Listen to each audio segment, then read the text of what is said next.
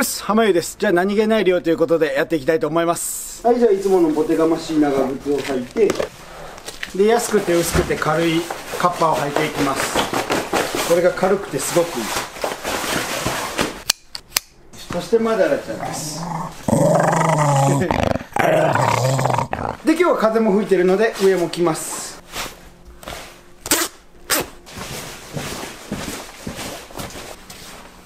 です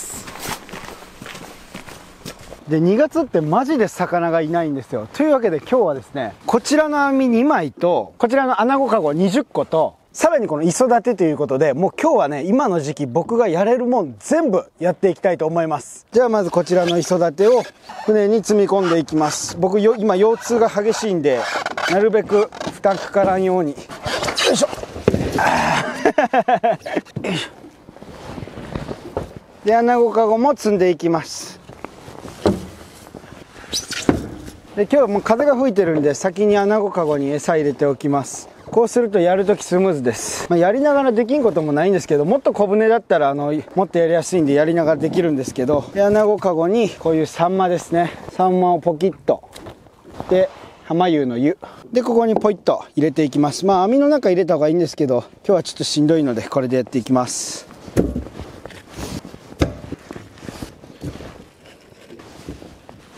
で穴子かごって僕のチャンネルでもう100万回ぐらい説明してるんですけどこうやって蓋を閉じてで海の中にこう入ります。で穴子がニョロニョロっとこん中あ餌だ!うーって入るともうね出れなくなるんですよ。まあ、ここの口がほらなんだろう入ったらど真ん中にあってこう網で閉じるから逃げれなくなります、まあ、仕掛けの説明はそんな感じですね。はいじゃあこれでラスト終了です。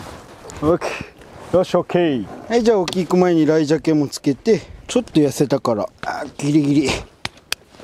オッケー。パツパツや。はいじゃあエンジンをかけて。でちょっと暖気。はいじゃあ表のロープ外して。ほんでここをくくって。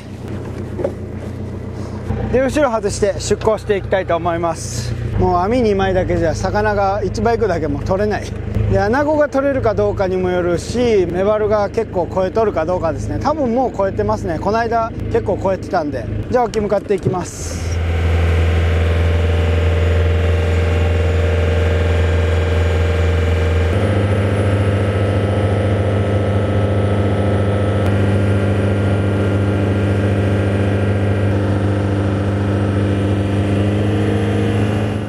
じゃあポイントにやってきたのでまず目合いのでかい網から入れていきます。でまあ沖に出たらやっぱ今ここちょっと影なんですけど西風が強いというかもう冬はほんま西ばっかりです。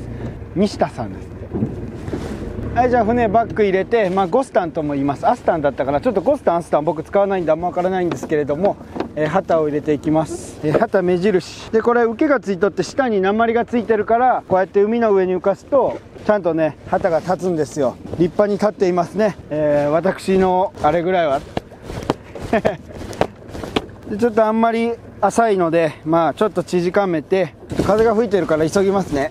こちら鉛を入れてで網を入れていきます。である程度最初この時点でちょっと入れとかないと網が出ていかないのである程度入れたら船をバックして網を入れていきます。ほんなら網がこうやって出ていきますね、うん、風に吹かれると操船も難しいんですよ。船って表の方が風を受けるので船の表が風横を当たってるとバックしとってもそっちに曲がりにくいんですよ。表がその分。どう言うたらいいかな。むずいな。でもつれたりするとこの受けを引っ張ってあげて網を直してあげる。まあ今網がかぶったままだったんですけれども。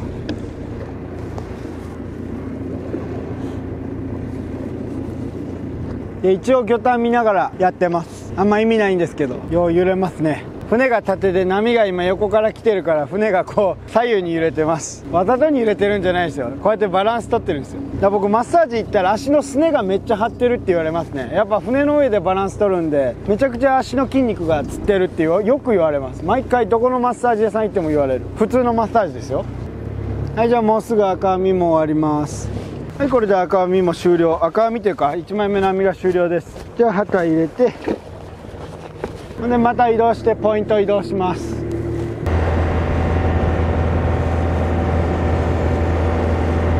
はいじゃあポイントに到着しました。まあほんまにねこの時期磯のちょっと沖とか網やっても全然いないんですけど旗入れてまあとりあえずやれることはもう全部やっていきます今日は。でこちら鉛ですね。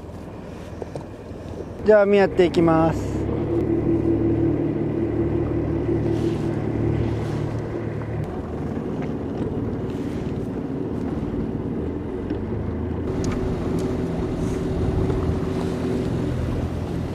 体うまくだがな。風で全然流れる。明日ないとったらいいけどな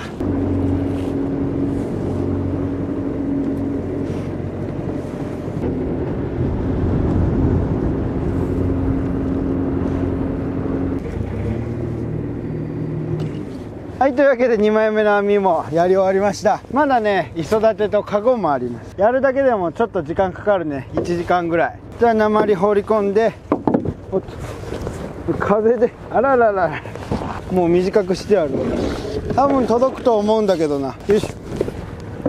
多分 OK 届いたかな？届いてないかもしれんな。ちょっと届いてない。あ届いてるな。届いああ届いてるな。届いてるけどどうしよう。まあええか。じゃあまた移動。はいじゃあ磯立てもやっておきます。当初からやるって言ってたんですけど磯立てはどういう網かっていうともう何回も説明してるんで僕のこのサブチャンネル見てる方知ってると思うんですけどまあ目合いがこんまいのでメバルとかが取れるよって網になります。でおじいさんと行ってた時は10タンぐらい今から4タンぐらいで前は10タンぐらいしてたんですけどあの僕メバル外すのがね早いんですけどあんまり好きじゃないんですよね。なんとなく自慢は入ってますがメバル外し選手権があったら僕多分世界一になれるぐらいメバル外すの早い自負はあります。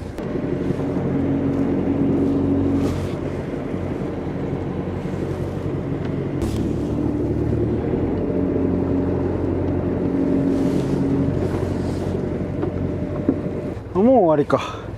短っ。あやりたかったとこまでと網が届かなかったな。ミスったミスった。えー、水島ひろとちょっと柄物上すぎるな。移動移動。ちょっと柄物上すぎるんで網張ってあれします。柄もから外します。どこまで行っても柄もだ。ここらでいいか。よし。はいじゃあ磯立ての受けも入れて。いよいよ最後穴子かご入れて帰りたいと思います。みんな俺のかっこいい姿にお腹いっぱい？知ってる。あどこ行った？これか。あと欲しいと。急げ急げ。もうこんなしょうもないギャグしよる場合じゃないね。で穴子かごえこちら入れていきます。ポイッと。で船をバックでやっていきます。で下がってる間に次のカゴセットしてほんでまた船下げてやっていく。これを20個やっていくだけです。あれ？あれ？れれ？どうなってんだ？もつれちゃった危ない危ない。よいしょ。あれれれ。穴子かごがもつれちゃってる。あれ？なんでこれこんななるんだ？なんでこれ下通るんだろう？こうやってる間にもほら風で流されるからこう張ってくる。あんまり張ってると穴子かご破れちゃうからね。あれれれ。よいしょ。穴子かご入れる時に注意しないといけないのはですねこの入れる時にちゃんと水平に入れる。こう倒れてるとやっぱあこのうち逆さやんってなって穴子も入りたくないからね。こうやって水平にまっすぐ。だからまっすぐまっすぐもっとまっすぐ生きて恥ずかしそうにしてる。お前が好きだ。人混みに紛れるとなおさら涙が出るからやっぱり一人になろうとした。それでも寂しくて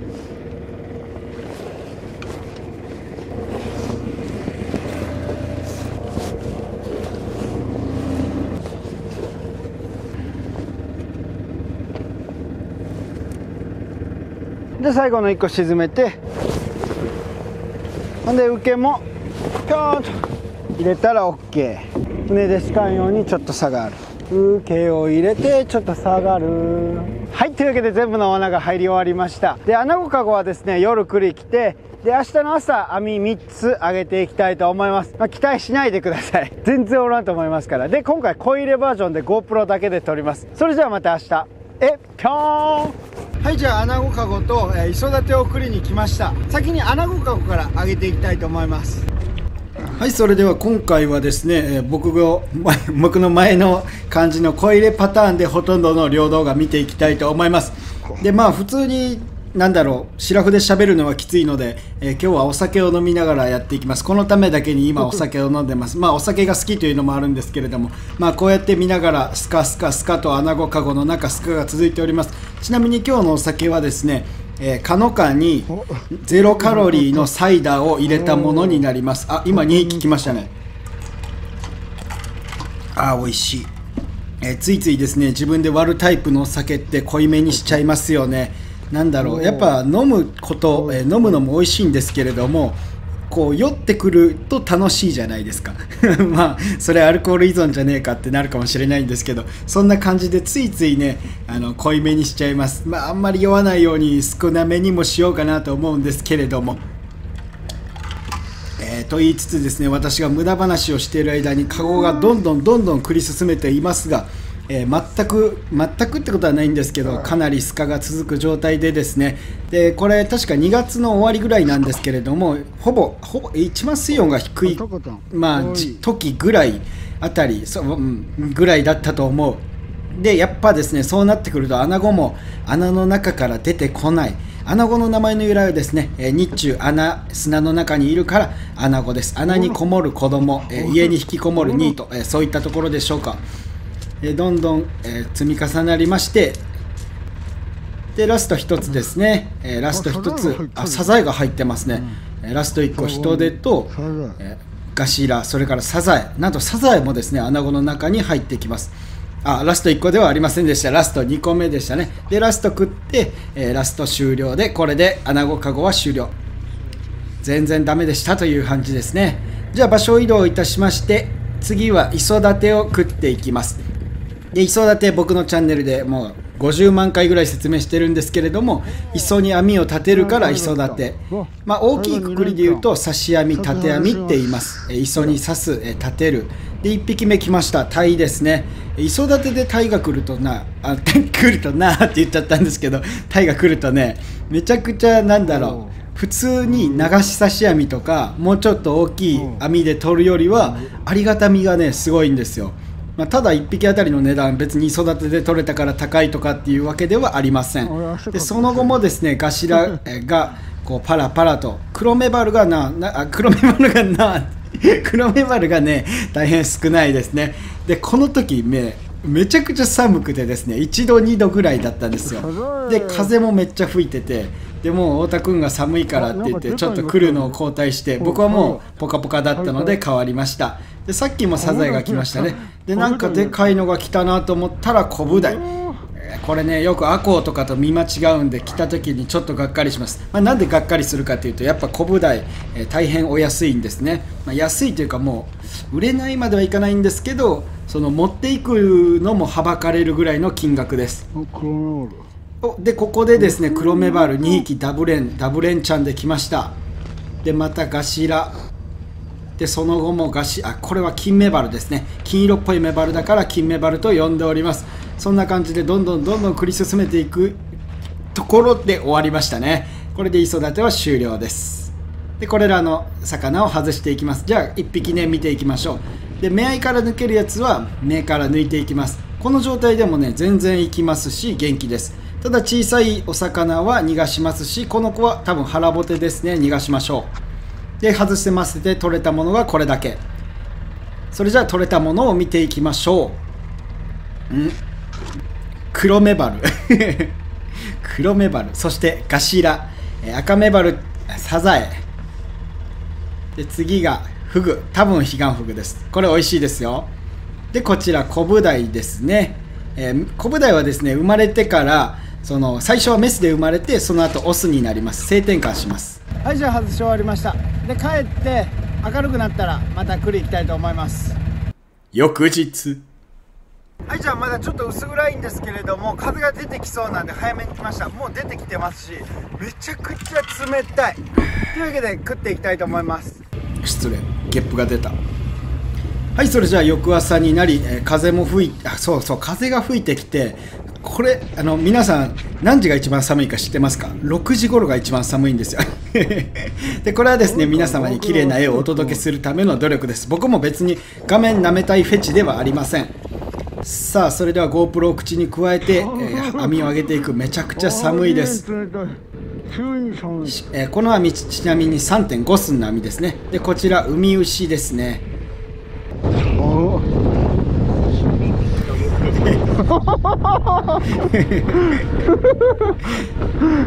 こ今のがねめちゃくちゃ僕面白くてあの本当に寒くてですね。で太田君あの耳の帽子のやつかぶってなくてですね耳真っ赤っかになってたんですよ。でそこで耳板之助と申すっていうねあの彼ギャグセンスは高いですから、えー、面白いことをつぶやくので時折入れていきたいと思います。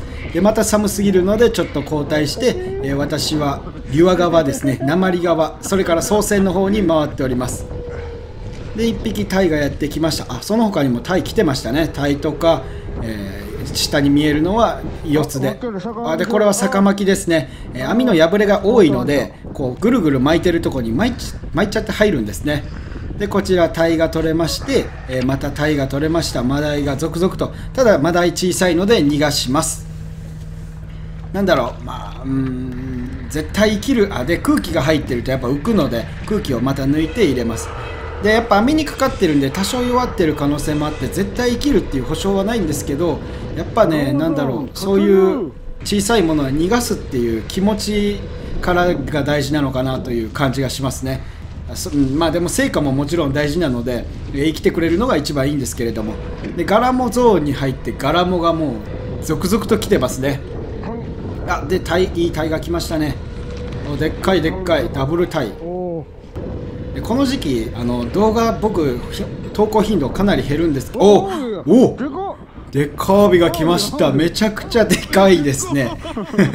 2人でアービを見て大興奮する。おじさんおじさん2人海でアービを見て大興奮、えー、別にこれ以上は何も言いませんが。たまにねアービもあの動くのでよくかよくはないんだけどかかってくるんですよあんな感じでアワビが網にね自分から入ってくるんですね。自分から入れてくるんですね。でナマコです。さあその後も網を繰り進めていきましょう、えー、これグレーですね。メジナ。でなんか来た。おこれはコブダイですね。お怪獣みたいですね。でかい。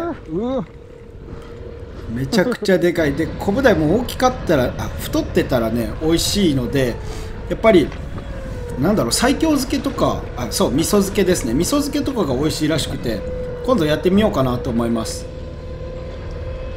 ちょっと酒があそうだここで事件発生です。皆さん。クラッチがねクラッチのワイヤーが切れちゃって船が動かなくなっちゃったんですよ。クラッチが入らなくなるんですねクラッチが入らないってどういうことかっていうと、まあ、つまり前にも後ろにも船が動かなくなった。エンジンはかかってるんですけどそれを駆動駆動系っていうのかな？あのペラとかあっちの回る方につなげられないんですよ。エンジンの中はぐるぐるぐるぐるシャフトが回ってるんですけどそれをこうペラの方につなげるワイヤーのとこが切れちゃった。もしもしクラッチが切れたんか知らんけどでここでねパパにあの連絡してクラッチのワイヤーが切れたから迎えに来て助けに来てということで えこういう時にやっぱ家族でやってるとえすぐ助けに来てくれる人がいるので大変助かります。そしてコブダイを逃がします。優雅に泳いで帰ってますね。コブダイさんは強いんでね絶対生きると思います。さあそして今風も吹いているのでクラッチがないと来るには大変ですので船の前に、え網を移動してですねこうすることで、え抵抗を減らして風の抵抗ですね。これでなんとかくれます。さあここでまたお父さんからかかってきました、え今画面見て気づいた人もこれ気づく人いるんですよ、え僕お父さんって記録してます、えよく親父親父って言ってるんですけれどもね、えそこら辺なんだろう。いくつになっても何て呼ぼうかみたいなところはありますが。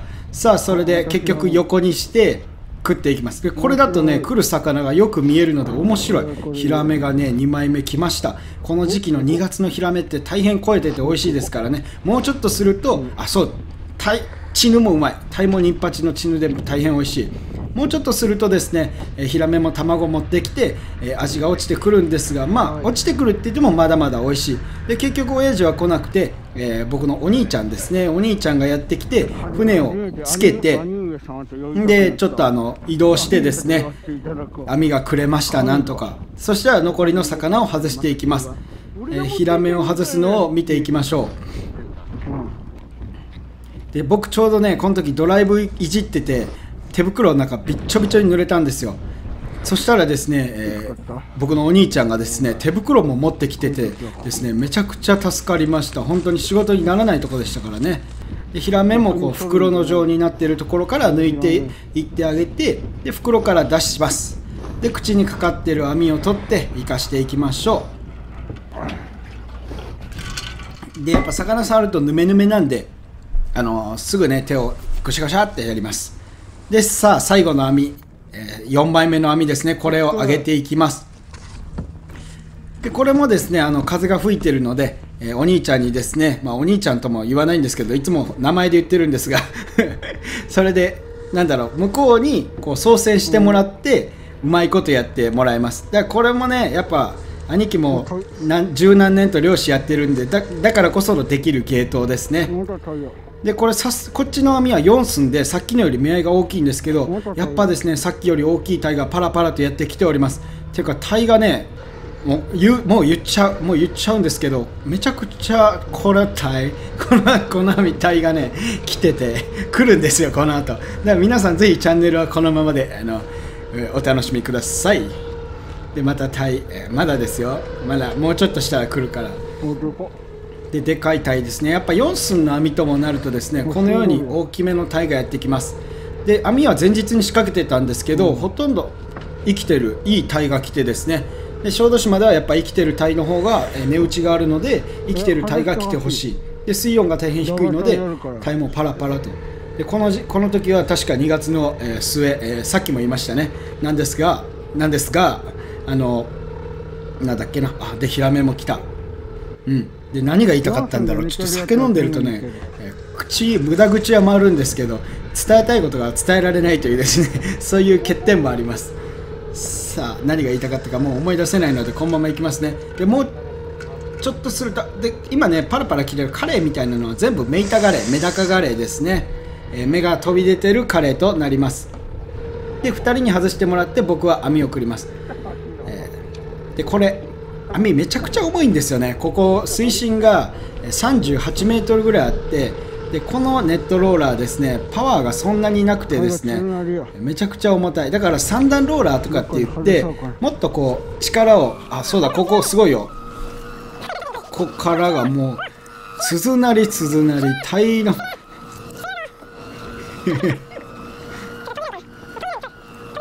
でなんかいろいろ言ってるんですけど死ねって言ってるんじゃなくてあの途切れたらあの網を体を早く外そうということで途切れろ途切れろって多分言ってるんですね。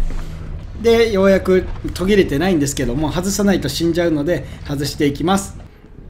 はいで無事に外せました。というわけでまた食っていくんですがここでもねまだまだタイが鈴なりでやってきております、まあ、正確には鈴なりですね。で2回目も止めて外していきます。でまたいいヒラメがやってきましたで魚探に餌が映ってて網にもイワシとかもかかってきててやっぱ餌がいたらこうやってね魚が大量につく可能性があるので魚群探知機が無駄にならずに済んでよかったです。ま魚群探知機の動画では本当に1万円1万円か2万円ぐらいしか取れなかったんですけど、えここではね動画の終わりにご紹介するんですがかなりの金額取れました。こういう一発があるからやっぱ漁師は面白いですよね。さあそしてタイもようやくまばらな感じになってきてで残りも少ないのかな。またタイが来ました。でまたタイ。ちょっとブレイキングタイムで飲ませていただきますね。で2月はやっぱりタイがタイがうまいじゃない。チヌがうまい。これさっきも言ったからでここでなんか沈んでた木ですね、えー、木もね腐ると浮かなくなって沈むんですよ。で沈んでた木がかかってでこれがウマヅラハギ今のウマヅラハギはですねあの身の声より肝がね結構超えててそれが美味しいです。おでまたちょっとマシなヒラメが来たようですね。これでヒラメ何匹目だろう？今日全部で5匹目ぐらい来たんじゃないかな。そして網が赤い網に変わりました。こちら5寸の網、えー、この網はですね、まあ、網が悪いとかじゃないんですけどやっぱここらではそんな大きいのがいないのでちょっとあのやめようかなって思います。4寸の網4寸と3寸5寸の網が一番やっぱかかりますね。でタイも池間いっぱい取れてで上がりのタイもたくさんいました。で上がりのタイもですねあの上がりだからって締めないよりは締めてあげるとですね血が出てで色もよく出ます。はいじゃあ帰ってきました。結構取れましたね。なかなか大量でした。じゃあ行かせていきます。じゃあ水入れてで池間の中。よいしょ。でもこの上がりのやつはダメですね。でこういう生きてる子は空気抜いて詰まってる。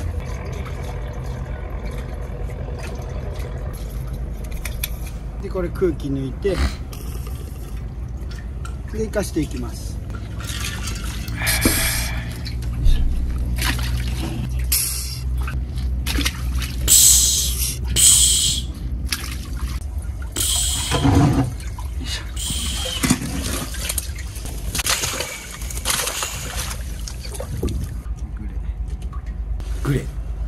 馬面はぎなんだっけ今の。あビングシだビングシヒラメは1枚2枚ですね。いいヒラメです。これがもうパンパンイワシの中おった子。はいじゃあ空気が抜けたのでまあ浮いてるやつもいますが閉じて。船の横をつらくっておきます。多分明日になったら結構死んでますね。夕方ぐらいにまたちょっと見ます出がりとかは氷してまた明日の市場に出します。とりあえず今日の量はこれで終了です。よ翌日。すいません今。はいありがとうございます。え現在4時半でございます。で準備して市場に行きたいと思います。